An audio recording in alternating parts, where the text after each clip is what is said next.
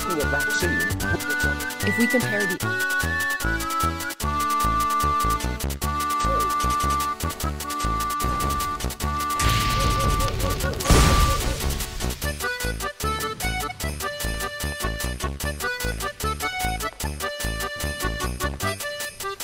Thank